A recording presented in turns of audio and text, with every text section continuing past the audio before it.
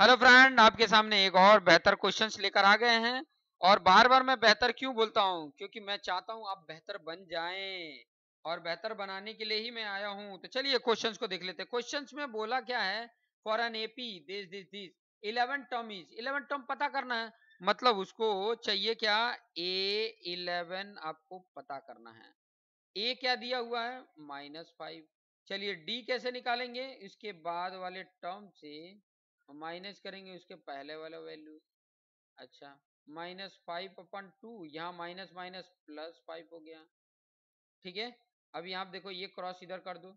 यहाँ minus five है ये टू फाइव या टेन हो गया, प्लस टेन। देखो, बीच में प्लस था, यहाँ प्लस लगाया, ये टू फाइव या टेन हो गया, और नीचे जो था, वही आ गया। Minus five plus ten, five हो गया फाइव अपन टू डी की वैल्यू ये आ गया। आपको क्या चाहिए?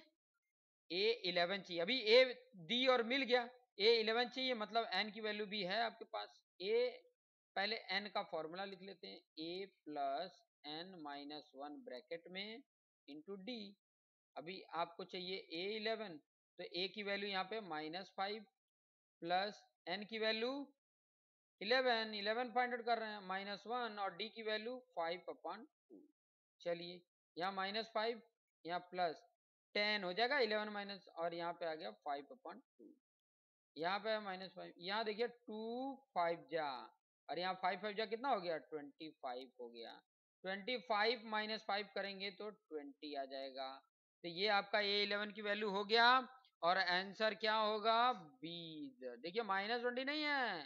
ध्यान रखना प्लस ट्वेंटी है। यही तो देखिए माइनस ट्वेंटी भी प्लस ट्वेंटी भी दिया है। तो ये मिस्टेक ना हो, ये चीज़ें आपको ध्यान में रखना है। Thank you